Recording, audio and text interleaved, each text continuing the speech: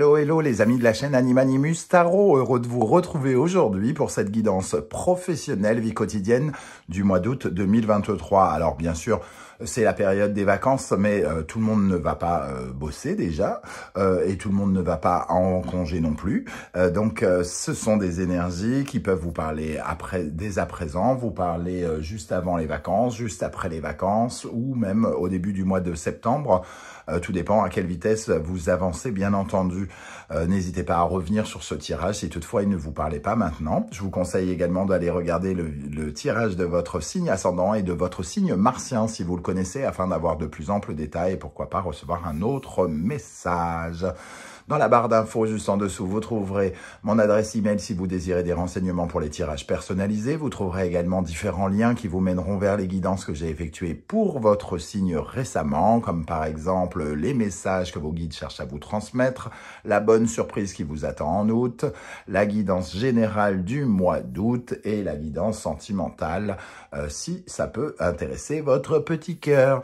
On se retrouve dans quelques instants avec le signe euh, qui vous concerne.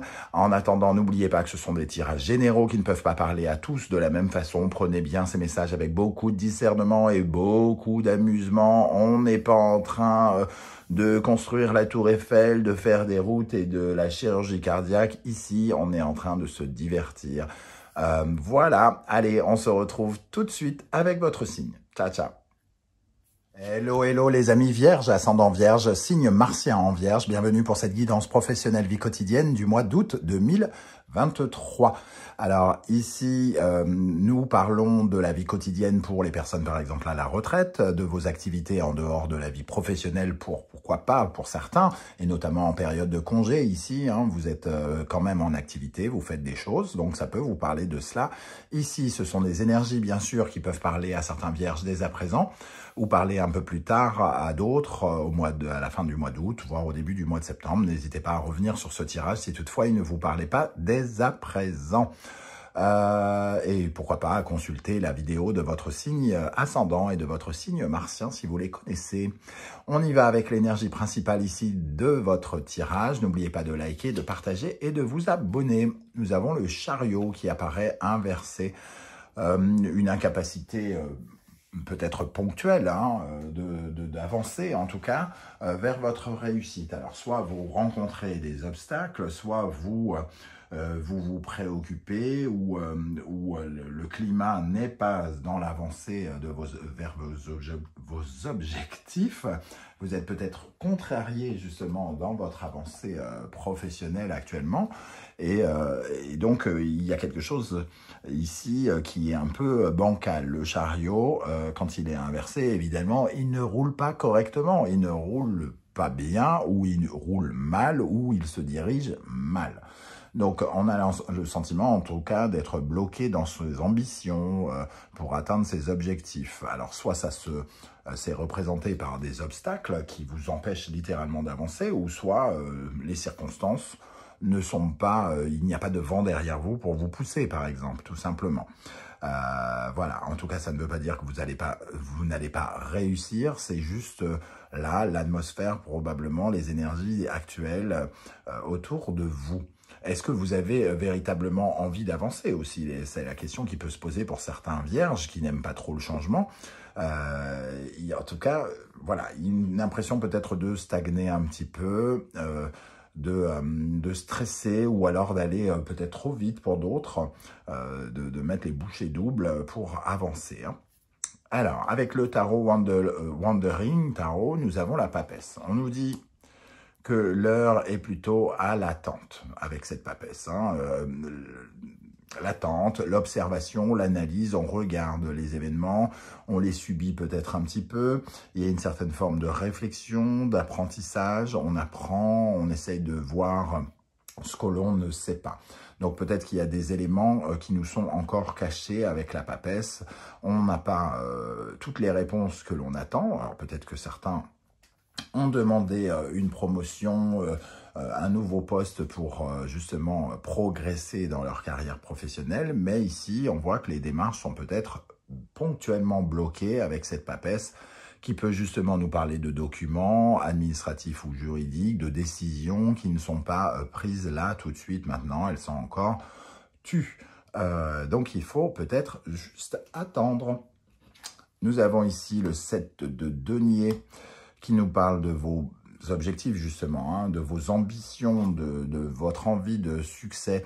Le 7 de denier, c'est le jardinier, celui qui plante une petite graine et qui euh, attend de voir le fruit de ses efforts, de la récompense qu'il mérite par rapport à, tout ce qu'il met en place. Hein. Donc on voit ici, on doit attendre les résultats, ce n'est pas encore le moment, attendre euh, le résultat de son travail euh, pour pouvoir justement attendre un succès ou en tout cas le sentiment d'avoir réussi, un sentiment de fierté qui pourrait monter en vous. Rien ne dit que ça ne va pas arriver jusqu'alors. Hein. Avec la sagesse de l'oracle, nous avons l'énergie de l'île au trésor qui, elle, peut-être nous confirme que c'est plutôt sur la bonne voie. C'est juste euh, bloqué actuellement. Cette, cette carte de, de, de l'île au trésor nous parle de justement que le succès, euh, finalement, vous appartient. Vous avez fait euh, quelque part ce qu'il fallait. Vos idées sont excellentes. Il y a quelque chose euh, qui montre une période de réalisation qui verra les fruits des graines de la prospérité éclore bientôt. Hein. Donc, tout ce que vous avez semé dans le passé, ici, pourrait mériter et voir venir une récompense à l'avenir. Donc, c'est plutôt euh, prometteur, j'ai envie de dire, cette attente.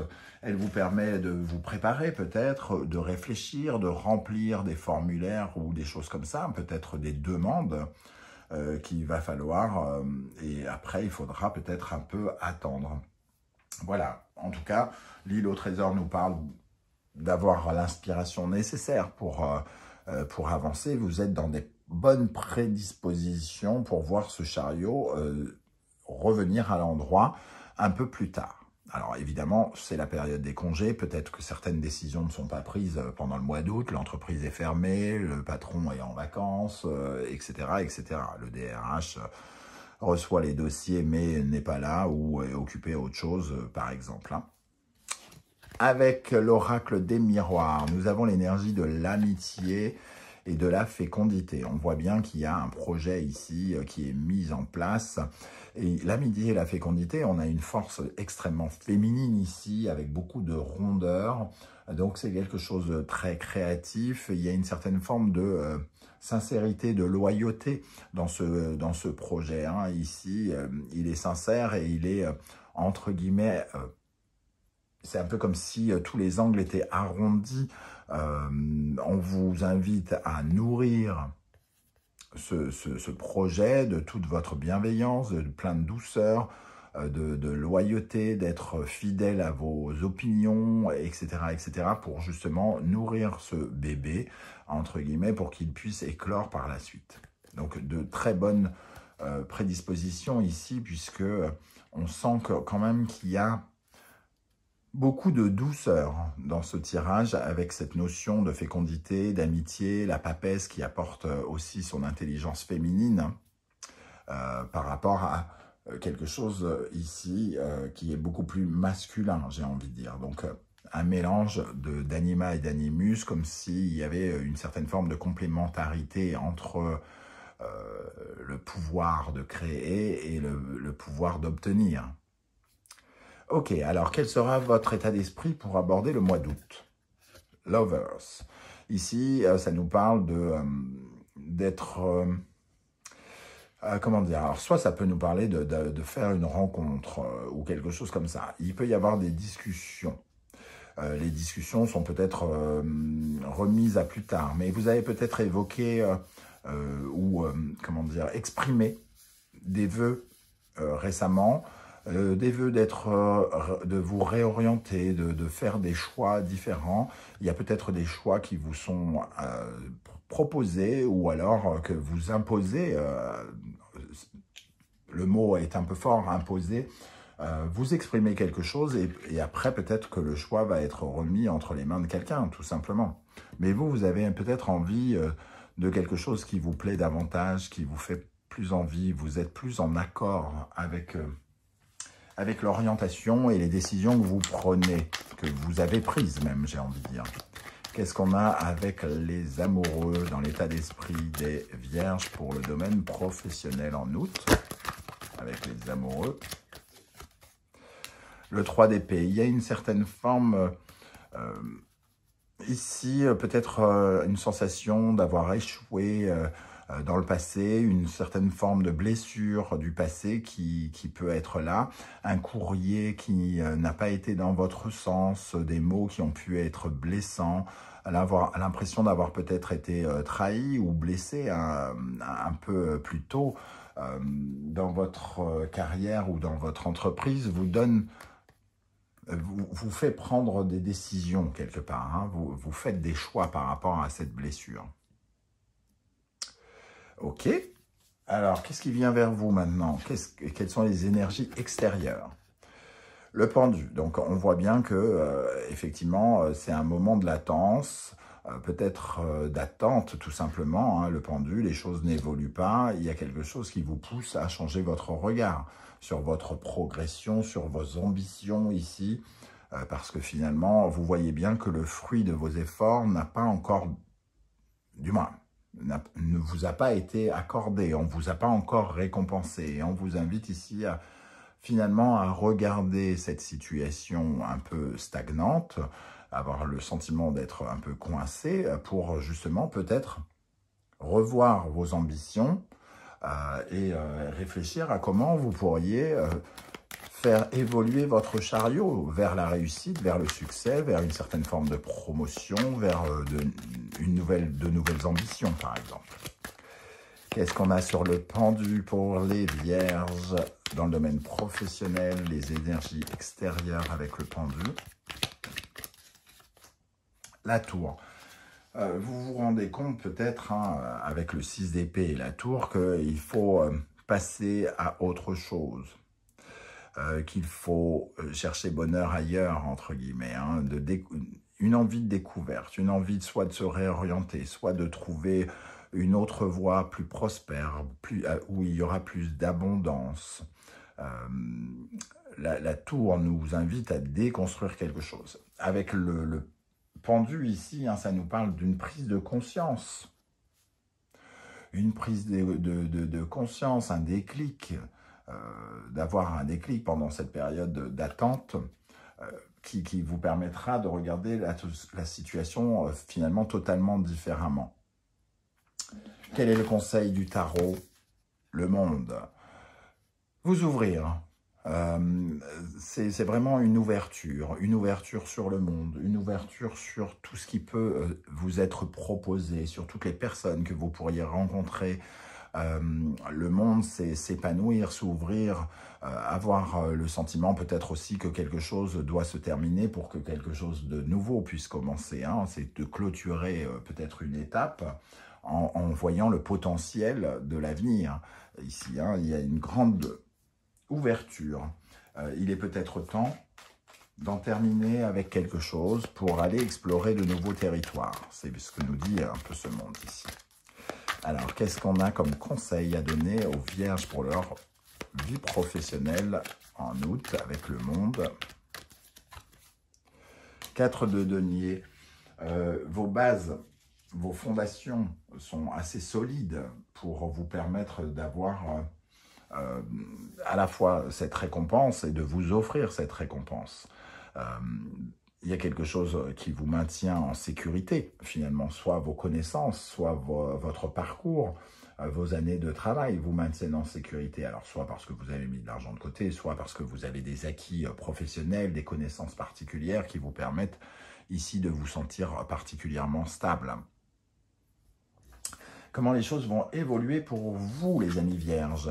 Le diable, le pouvoir, l'ambition, l'envie euh, charisme, de, déployer ses ailes, de déployer son charisme, de convaincre, l'envie de mordre, de croquer davantage. Hein. L'envie d'en croquer davantage, soit de l'argent, soit du succès, soit euh, d'être mis en avant quelque part et de ne plus être totalement esclave de certaines choses. de ne plus être, euh, de ne plus subir, d'être mis en avant. Alors, comment les choses vont évoluer pour les vierges. Moi, j'ai vraiment l'impression que vous revoyez vos ambitions et que tout à coup, euh, le fait de stagner, le fait de rester en place, commence à, ne, à vous titiller hein, quelque part. Qu'est-ce qu'on a avec le diable pour l'évolution de la vie professionnelle des vierges? Reine de bâton, vos envies, vous, euh, vous réceptionnez, vous, vous commencez à imaginer, à créer de nouvelles choses, vous vous sentez focus sur de nouveaux objectifs. Euh, la reine, elle reçoit, hein, donc euh, elle sent qu'elle peut peut-être obtenir ce qu'elle veut, hein, tout simplement, et donc ça peut d'autant plus la motiver à bouger, parce que cette reine de bâton, elle a, la bougeotte, comme le chariot quand il est à l'endroit. Hein.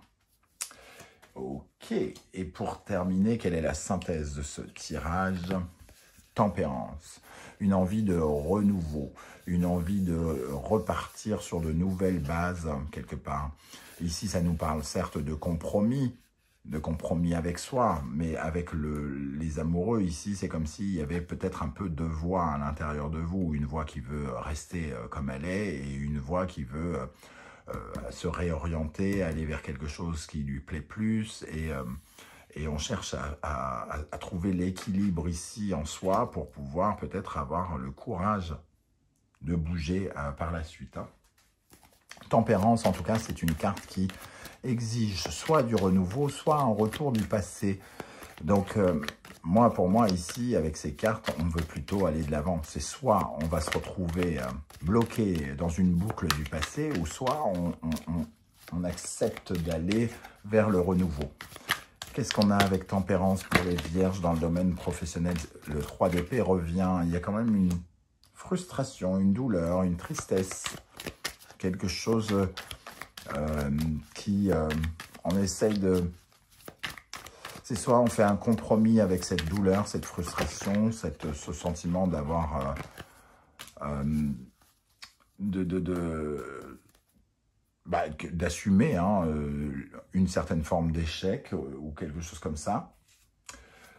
Ou soit, au contraire, avec le 6 de coupe, on se réharmonise émotionnellement et pour, pour aller vers un nouveau potentiel quelque part. Ici, il y a une certaine forme de mélancolie, un petit peu comme si le passé revenait quand même à la surface, avec tempérance ici, en tout cas des sentiments du passé qui peuvent revenir et qui vous empêchent finalement d'aller de l'avant. Voilà les amis euh, vierges, comment je ressens ce tirage, je ne sais pas du tout comment ça va vous parler. C'est le moment justement de commenter juste en dessous. Hein. Euh, n'hésitez pas à m'expliquer un petit peu ce que vous ressentez par rapport à ce tirage. J'aurai beaucoup de plaisir à vous lire et à vous répondre. Si vous ne voulez pas déballer votre vie euh, intime sur YouTube, ce que je peux comprendre aussi, vous n'hésitez pas à mettre un petit émoticône de votre choix, un hérisson, une, une poupée, une plante verte, ou alors un émoticône qui représente ce que vous ressentez. J'aurai plaisir à voir que vous êtes passé et à vous saluer. N'oubliez pas de liker, de partager et de vous abonner à la chaîne. C'est totalement gratuit, mais pour moi, ça veut dire beaucoup. C'est beaucoup d'encouragement euh, pour continuer. Je vous en remercie. Je tenais à tous vous souhaiter en tout cas un très très bel été. On se retrouve bientôt avec de nouvelles guidances. En attendant, prenez bien soin de vous les amis vierges. Merci d'être là et à bientôt. Ciao, ciao